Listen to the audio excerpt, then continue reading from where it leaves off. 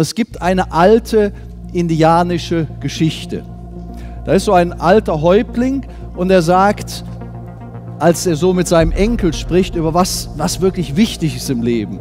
Also wenn das äh, ein Verkäufer wäre, dann wäre der Häuptling der Verkaufssuperstar und der Schüler würde fragen, ja, aber was ist denn wirklich wichtig im Leben?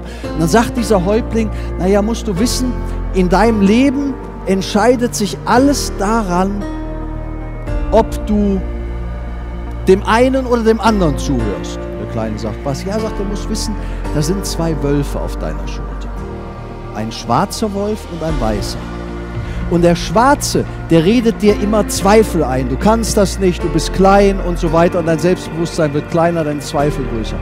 Und dann ist da noch ein weißer Wolf und der will dich motivieren, der stärkt dein Selbstvertrauen. So erzählt der alte Häuptling das seinem Enkel und der Enkel ist ganz beeindruckt, sagt, wow, zwei Wölfe, schwarzer und weißer.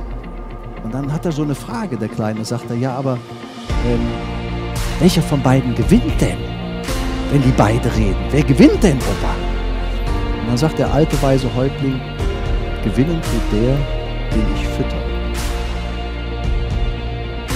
Der, den ich fütter. Das ist eine ganz wichtige Lehre. Einstellung hat damit zu tun, womit wir uns füttern. So einfach ist es.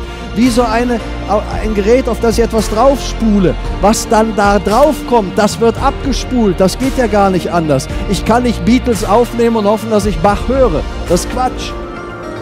Was ich reinbringe, das kommt auch raus. Und das ist das, was wir eben besprochen haben. Schwarz oder äh, von mir aus Ente, Weiß oder Adler, Zwerg oder Riese, egal wie Sie sich das vorstellen wollen. Wir können Fernsehen gucken oder wir können ein gutes Buch lesen. Das ist so. Wir können Zucker essen oder Obst. Wir haben Alkohol oder Wasser, Enten oder Adler, dem wir zuhören, wenn wir mit Menschen reden. Wen hören Sie zu? Jemand, der eher eine Ente ist? Wissen Sie, ich habe das durch, ich habe das gemacht, Vertrieb. Ich weiß, wie das ist. Ich hatte 500 Mitarbeiter mit 28 Jahren. 500. Ich habe gelernt zu verkaufen, ich habe gelernt, denen Verkaufen beizubringen. Und die meisten, über die Hälfte, waren doppelt so alt wie ich. Die musst du erst mal führen. Und dem musst du erklären, Junge, im Grunde genommen, Mädchen, im Grunde genommen kommt es darauf an, ob du auf den schwarzen Wolf hörst oder auf den weißen. Die haben mich angeguckt. Da spinnt der. Weißer oder schwarz, worauf hören wir? Das sind die Dinge.